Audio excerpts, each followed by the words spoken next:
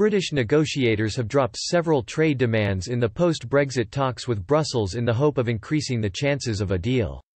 Boris Johnson's chief negotiator with the European Union hopes asking for a less ambitious free trade agreement will unlock the negotiations.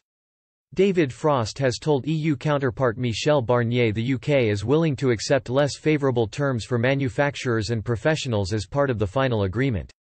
The Taskforce Europe chief believes lowering the complexity of the pact, in areas such as rules of origin and mutual recognition of qualifications, would mean Brussels dropping its complaints about easy access to its single market. The move comes after Mr Barnier rejected several proposals put forward by British negotiators as cherry-picking. The government has accepted the trade pact with Brussels won't be at the, most expansive, most innovative end of the spectrum. Downing Street was hoping to secure an agreement that would allow manufacturers to benefit from where both sides to a trade deal with the same country.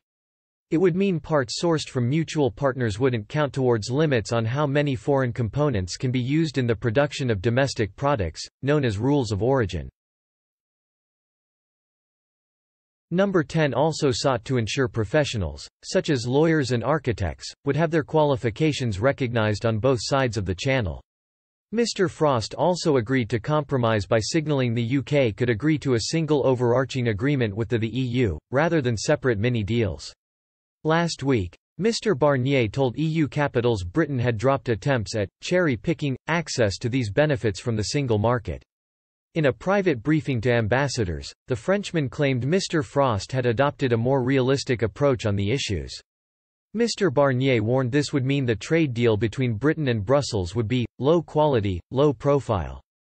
European sources described the assessment as, sobering, but said the bloc was willing to continue working on the pact.